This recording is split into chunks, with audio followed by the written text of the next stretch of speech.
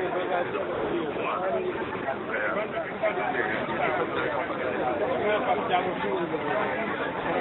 spero che riuscite a muovere bene, fra un pochino inizia la gente.